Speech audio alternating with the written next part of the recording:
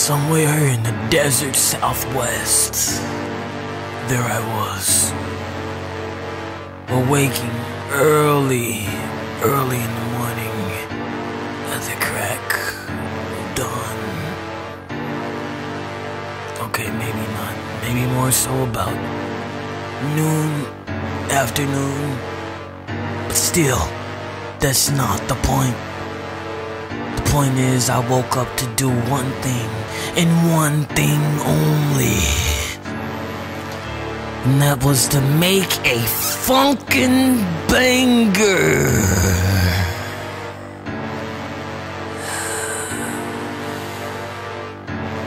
I started with the drums.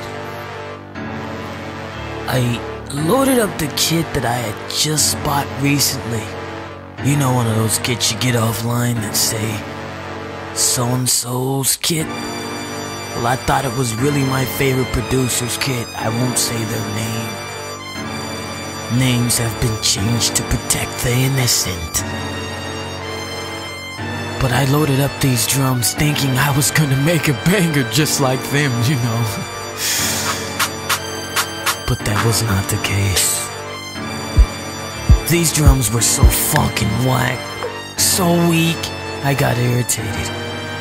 I almost smashed my fucking MIDI controller against the wall.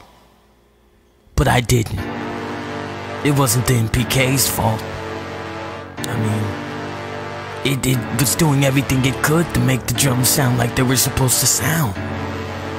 I didn't want to have to waste my precious, valuable creative time having to.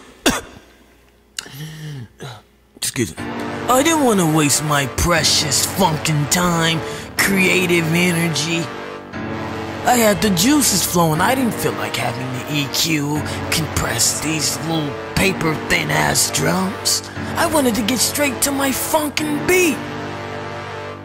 But I couldn't, not with these drums. But lucky for me, I had a dope ass drum kit in the stash. ER drums opium. I loaded that banging ass kit up, the dopest drums you've ever heard in your life. I was off to a funkin' banger in no time.